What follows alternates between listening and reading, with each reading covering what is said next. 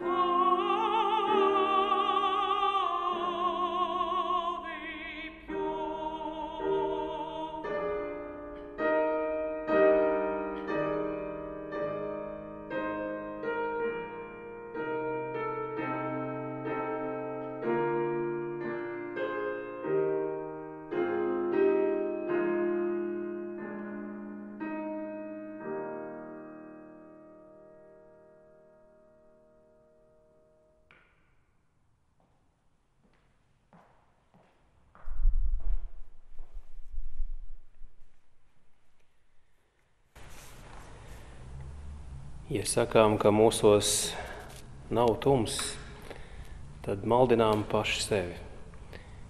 Arī šajā dienā nāksim vispirms Dievu priekšā grēksūdzes lūkšanā.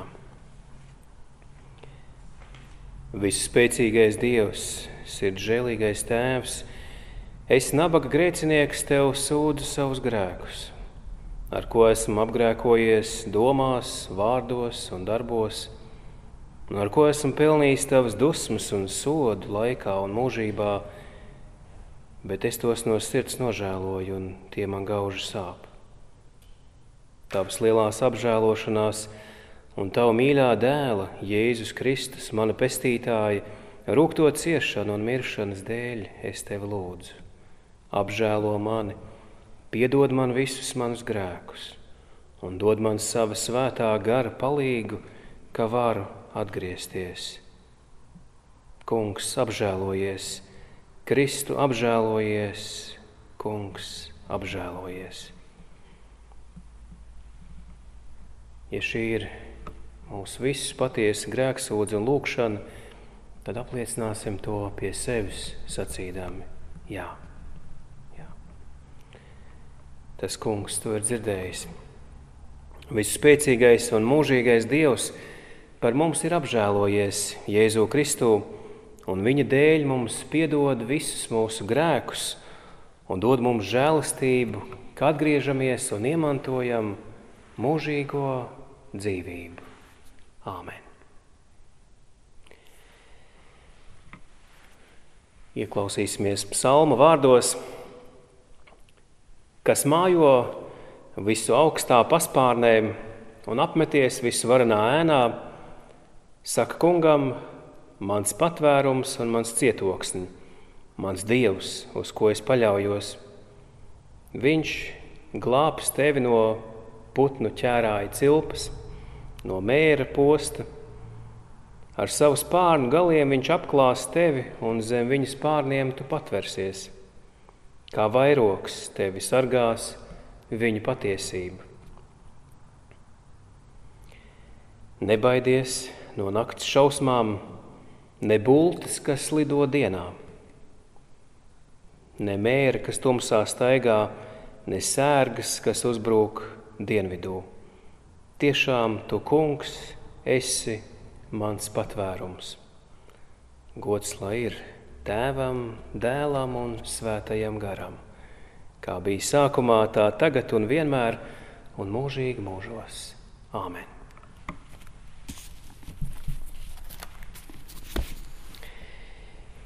Ieklausīsimies arī lasījumā no svētajiem rakstiem, no pirmās mūzes grāmatas, trešās nodaļas. Bet čūska bija vismanīgākā no visiem lauku zvēriem, kurus kungs Dievs bija taisījis. Un viņa teica sievai, vai tiešām Dievs sacīja, no visiem dārza kokiem jūs nevarat ēst. Sieva teica čūskai, mēs varam ēst no visiem dārza augļiem, bet par tā koka augļiem, kas dārza vidū, Dievs sacīja, neēdiet no tā un neaiztieciet to, citādi mirsiet. Bet čūska teica sievai, mirt jūs nemirsiet, jo Dievs zina, ka tajā dienā, kad jūs no tā ēdīsiet, jūs acis atvērsies un jūs būsiet kā Dievs. Zināsiet, kas labs un kas ļauns. Un sieva redzēja, ka tas koks ir labs, lai ēstu, tīkams acīm un kārojams prātam, un viņa ņēma tā auglu un ēda, un deva arī savam vīram, kas bija kopā ar viņu, un viņš ēda. Un abiem atdarījās acis.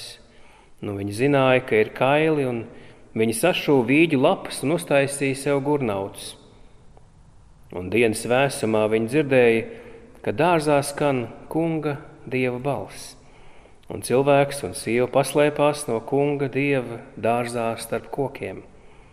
Un kungs dievs sauc cilvēkam un teica viņam, kur tu esi? Un tas teica, es dzirdēju dārzā tavu balsi un nobijos, jo esmu kails un es paslēpos. Viņš teica, kas tev pastāstīja, ka tu esi kails, vai tu ēdi no tā koka, par ko es tev pavēlēju, nē, no tā. Un cilvēks teica, Tā sieva, ko tu man devi, viņa man deva no tā koka, un es ēdu. Un kungs Dievs teica sievai, ko tu esi izdarījusi, un sieva teica, čūska mani pievīla, un es ēdu. Tā kunga vārds.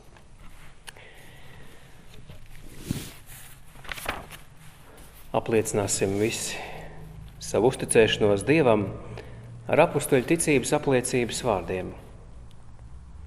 Es ticu uz Dievu Tēvu, visu valdītāju, debesu un zemes radītāju, un uz Jēzu Kristu, Dieva vienpiedzimušo dēlu, mūsu kungu, kas ieņemts no svētā gara, piedzimis no jaunavas Marijas, cietis zem poncija Pilāta, krustā sists, nomiris, aprakts, nokāpis mirušo valstībā, trešajā dienā augšām cēlies no mirušajiem uzkāpis debesīs, sēdies pie Dieva, visvaldītāja tēva labās rokas, no kurienes viņš atnāks tiesāt dzīvos un miršos.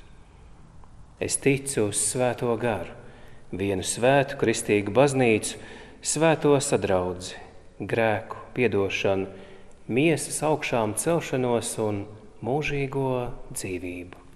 Āmen!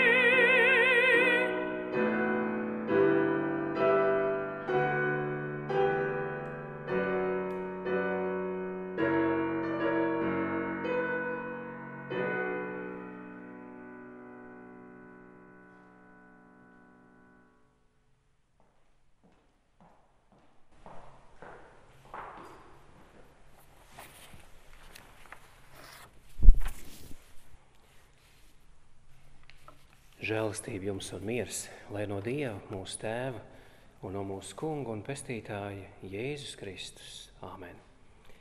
Šīs svētdienas pārdomām ieklausīsimies vārdos no Mateja evaņģēlīja 4. nodaļas, no 1. panta mēs tā lasām. Tad gars aizveda Jēzu tuksnesī, ka viņš tiktu vēlna kārdināts. Kad viņš bija gavējis 40 dienas un 40 naktis, viņš izsalka. Kārdinātājs piestājies viņam sacīja: Ja tu esi Dieva dēls, saki, lai šie akmeņi top par maizi. Bet Jēzus atbildēja: Ir rakstīts, cilvēks nedzīvo no maizes vien, bet no ikviena vārda, kas nāk no dieva mutes. Tad Vēlns viņu aizved uz svēto pilsētu, pacēla viņu uz tempļa jumta malas un sacīja: Ja tu esi Dieva dēls, meties lejā, jo ir rakstīts, viņš saviem eņģeļiem dos pavēli tevis dēļ, un tie tevi uz rokām nesīs, lai tu savu kāju pie akmens nepiedauzītu. Jēzus viņam sacīja, bet ir arī rakstīts: nekārdini kungu, savu dievu. Atkal Vēlns viņu aizveda uz ļoti augstu kalnu un rādīja viņam visas pasaules valstis un to godību. Un sacīja: To visu es tev došu, ja tu nolieksies manā priekšā un mani pielūgsi. Tad Jēzus viņam sacīja: atkāpies sātan, jo ir rakstīts, pielūdz kungu savu dievu un viņam vien kalpo. Tad vēlns viņu atstāja, un redz, eņģeļi nāca un viņam kalpoja. Tā kunga vārds. Debes Tēvs, mēs Tev lūdzam, svētī mūs arī šajā gavēņa laikā, Tava vārda patiesībā, lai Tavs vārds mūs piepilda un vada jo Tavs vārds ir mūsu patiesība un mūsu dzīvība. Āmen!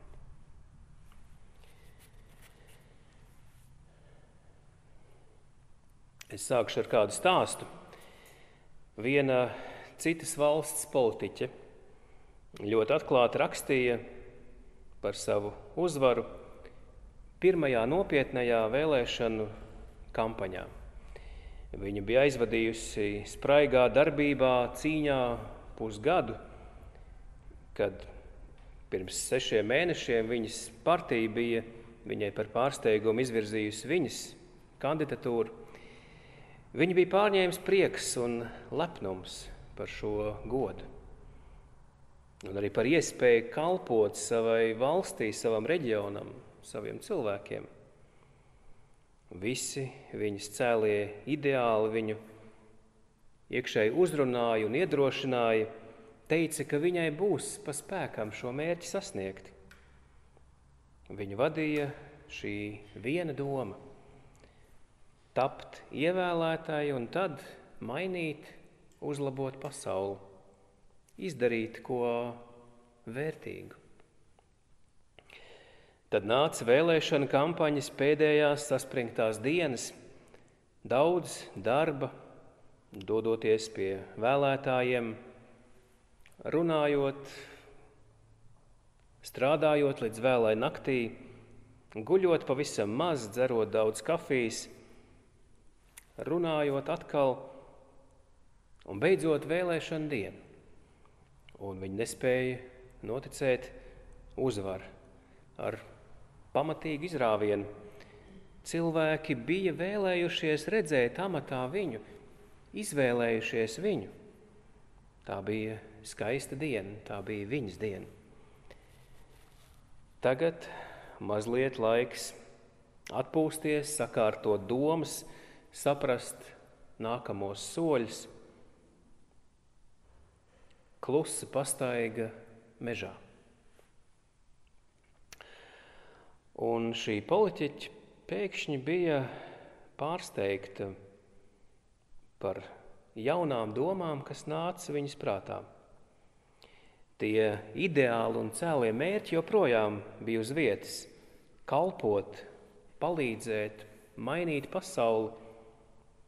Taču klāt bija atnākušas arī citas balsis. Viena balss teica, beidzot, tev ir iespēja arī nopelnīt normālu naudu, īstu naudu. Tavu atbalstu gribēs daudzi uzņēmumi, lobby, varēsi nosaukt savu cenu. Šis ir tikai pirmais solis, čukstēja cita balss. Ja izspēlēs savas kārtas pareizi, ja izveidos pareizos kontaktus, tu varētu pacelties ne tikai reģionālā, bet visas valsts līmenī.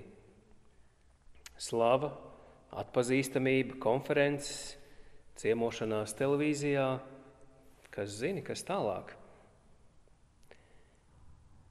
Kas notiek? Kas ir šīs balsis manī? Viņi sāk domāt šīs balsis, kas, kas neapklust. Klausies, iekšēji balss turpināja čukstēt, tas partijas aktīvists, kas tev nepatīk, kas tev uzdzen šermuļus ar savu dedzīgumu, tu taču varētu no viņa tikt vaļā. Tev taču tagad ir tāda iespēja, un būs vēl vairāk. Pasaule ir šaha galdiņš tavās rokās, ej un spēlē savu spēli. Jā, kā normālā, ētiskā, pat ideāli pilnā cilvēkā var parādīties šādas balss. Vai tas nav šokējoši?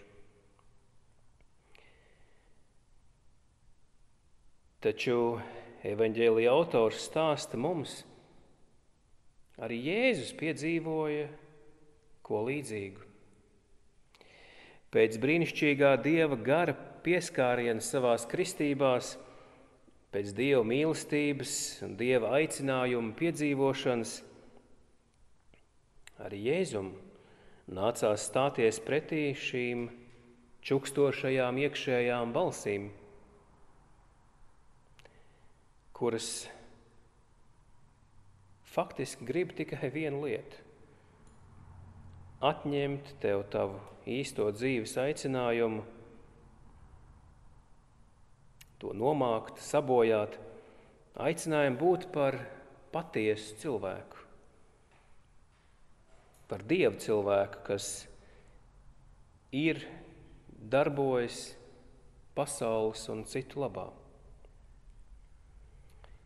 Jēzus stājās šīm balsīm pretī un gūst uzvaru. Tās ir iespējams uzveikt. Mēs varam tikai domāt, ja Jēzus tām nestātos pretī jau pašā sākumā, varbūt vēlāk šīs balsis uzbrukt ar divkāršu spēku un nomākt viņa kalpošanas darbu. Balsis grib apšaubīt to, kas viņš ir, ko viņš nu pat ir piedzīvojis. Tu esi mans mīļotais dēls, bija Dieva balss. Balsis čukst, vai tiešām tu esi Dieva dēls? Varbūt, varbūt tu neesi. Apstākļi tuksnesī par to neliecina, varbūt vajag to pārbaudīt. Bet varbūt vispār vajag mest šo uzticēšanās dievam lietu malā un ņemt varu savās rokās, izmantot visus sev pieejamos līdzekļus, vienalga kādus, lai sasniegtu savus mērķus, savu drošību. Tomēr Jēzum šķiet, ka Vērtīgāks par šo balsu ieteikumiem ir cits ceļš.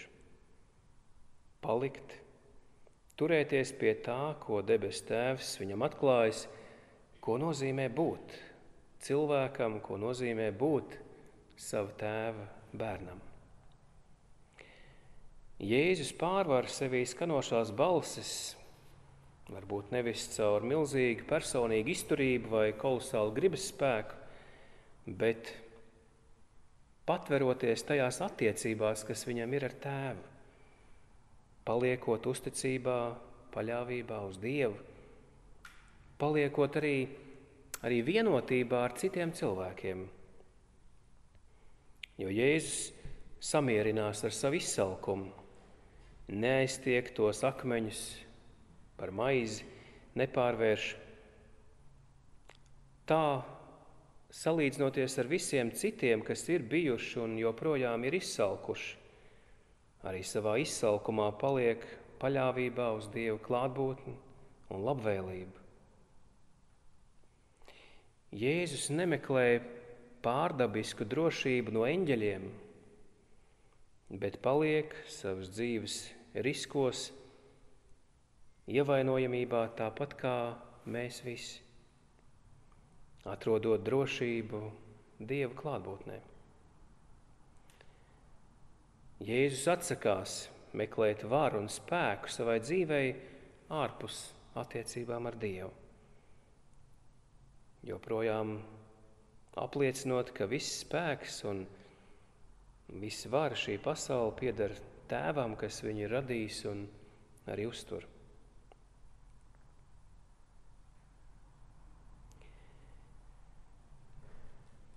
Kā to parādīja šīs politiķis stāsts, ar šīm iekšējām balsīm sastopamies mēs visi. Mūsu ikdienas lēmumos, Reizēm ļoti izšķirošos dzīves pagriezienu brīžos, kad runa ir par to, kas mēs esam, kas ir mūsu dzīves aicinājums, ko mums patiešām vajag ar savu dzīvi, ar savu laiku darīt, par ko mums kļūt. Iekšējās balsis čukst par daudziem iespējamiem ceļiem, kas varētu aizvest tālu sniegt drošību, dažādas skaistas pieredzes, panākumus, lieliskas izdevības. Vajadzīgs laiks mazliet apstāties un izvērtēt, vai šie ceļi un šīs izdevības galu galā neaizvedīs prom no šī pamata aicinājuma būt par dieva līdzību nesošu cilvēku. Par cilvēku, kas ir atklājis savu sūtību, kas nav pazaudējis savu godīgumu, kas joprojām var lūkoties sev un citiem acīs bez kauna, ar gandarījumu un prieku. Ir svarīgi saprast, ka jā, mēs visi reizēm dzirdam šādas balss, Nevaram aizdzīt tās ar savu gribas spēku vai kaut kā nospiest, lai tās vairs nekad, nekad nedzirdētu. Nospiestas tieši otrādi tās dažreiz kļūst vēl spēcīgākas un postošākas. Mums ir jāatzīst, kā to darām arī grēksūdzē, katrā dievkalpojumā. Mūsos vienmēr ir kaut kas, kas dzenas pēc lielākas drošības, pēc lielākas ietekmes, atzinības, pēc kaut kā vairāk nekā mums ir šobrīd. Šīs balsis nāk, bet tās var arī iet tālāk. Mēs tās atzīstam, ļaujam tām iziet sev cauri, pateikt savu sakāmo, bet tad lai tās atkal iet tālāk. Jo mēs joprojām redzam sev kā paraugu to vienu, kas tuksnesī, lielā izsalkumā, vājumā būdams, neiet šīm balsīm līdzi. Jēzu, kas paliek savā nedrošībā, izsalkumā, ievainojamībā, līdzīgi mums. Bet visā tajā vienkārši turpina turēties attiecībās ar tēvu tajā saiknē, no kuras nāk visa pārliecība par to, kas tu esi, kas ir tava īstā drošība, tava cilvēcība. Šajā ceļā pretī lieldienu dzīvības pasludinājumam Arī mēs domāsim, varbūt pastaigāsim meža klusumā, kā tā politiķi. Sadzirdēsim visas mūsos mītošās balss. Un lai Dieva gars vada, ka ieraudzīsim vēl dziļāk, vēl skaidrāk savu dzīves lielo aicinājumu, turpināt, kļūt, tapt par Dieva cilvēku, kam nav kauns skatīties sev acīs, un kas tiešām dzīvo ne tikai savā, bet arī pasaules un citu labā. Āmen!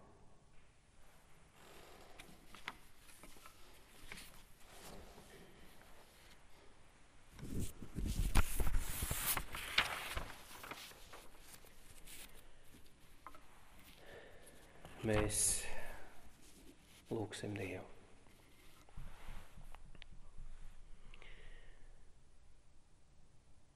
Dievs, mēs Tev pateicamies, ka Tu mūs esi aicinājis šajā pasaulē, ka Tu mūs esi aicinājis kļūt par Tavu tēlu un līdzību nesošām būtnēm. Mēs pateicamies Tev par Tavu garu, ko Tu esi mums dāvinājis. Par Tavu garu, kas vada mūs mūsu dzīves tuksnešos, lai mēs turpinātu pieaugt patiesā cilvēcībā, lai taptu tādi, kādus Tu mūs vēlies redzēt. Mēs Tev pateicamies par Kristu, kurš ir gājis cauri visiem mūsu tuksnešiem, un kurā mēs redzam paļāvības un uzticēšanās tev dziļumus. Kungs, tu redzi mūsos mītošās balsis, mūsu nemieru, kas aicina vispirms rūpēties par sevi, pasargāt sevi, savu statusu, izmantot visus iespējamos līdzekļus, lai dzīvē tiktu uz priekšu lai iegūtu visu, ko varam iegūt, un pārāk neaizdomāties, vai tas nenotiek uz citu rēķinu. Balss, kas mūsu dzīvi grib reducēt uz, uz komfortu, uz mantu krāšanu un gaistošas varas un slavas gūšanu. Kungs, mēs tev lūdzam, ļauj mums ar vienu saskatīt, kas ir mūsu dzīves īstais aicinājums patiesa, taisnīga, mīlestības pilna dzīve, kas aptver visu un iekļauj visu un rūpējas par visu. Dzīve, kas ir ieaicināta tavas debesu valstības radošumā un labvēlībā, un kas ieaicina tajā arī citus. Kungs, mēs lūdzam, ved mūs cauri šim gavēņa laikam, šķīstī mūsu dvēseli un prātu. Dod, lai atkrīt viss liekais, pārspīlētais, nesvarīgais, sīkumainais un neīstais. Dod, lai skaidrāk redzam būtisko, patieso labestīgo Viss, kas mūs tuvina Kristus cilvēcībai, ved mūs pats šajā pārmaiņu ceļā. Kungs, mēs lūdzam par tiem, kam tavu klātbūtni šobrīd jo īpaši nepieciešama. Mēs lūdzam par Ukrajinu, mēs lūdzam par mieru, mēs lūdzam par taisnību, mēs lūdzam par ļaunuma, agresijas apturēšanu, mēs lūdzam par tiem, kas aizstāv savu zemi, savas mājas un tautu, savas valsts tagadni un nākotni. Mēs lūdzam par viņu ciešanām un sāpēm. Kristu, tu nebaidījies no šīs pasaules lielajiem valdniekiem un tirāniem. Tu stājies tiem pretī ar mīlestības pilnu drosmi, kuru mums no tevis jāmācās. Nepazaudēt sevi, tavu gaismu, bet stāties pretī ļaunumam. dod mums drosmi būt kopā ar Ukraiņas tautu, tās svarīgās cīņas brīdī, dod mums spēku būt kopā ar Krievijas un Baltkrievijas tautu, kas jau tik ilgi dzīvo zem apspiedošu tirānu varas, lai tās to reizi varētu nomest. Kungs dod mums drosmi un spēku un enerģiju darīt to, ko mēs varam darīt, lai palīdzētu. Dod mums arī drosmi nest tās sekas, grūtības un arī ekonomiskās sekas, ko radīs mūsu nostāšanās pret necilvēcību un meliem. Mēs liekam visu sevi tavās rokās un lūdzam, kā tu mums esi mācījis. Mūsu Tēvs debesīs, svētīts lai top tavs vārds, lai nāk tava valstība, tavs prāts, lai notiek kā debesīs, tā arī virs zemes. Mūsu dienascho maizi dod mums šodien, un piedod mums mūsu parādus, kā arī mēs piedodam saviem parādniekiem. Un neieved mūsu kārdināšanā, bet atpestī mūs no ļauna, jo tev pieder valstība, spēks un gods mūžīgi mūžos. Āmen!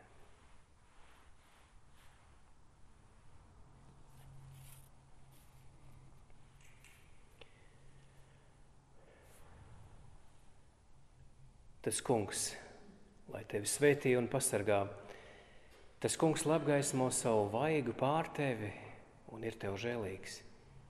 Tas kungs, lai paceļ savu vaigu uz tevi un dod tev mieru.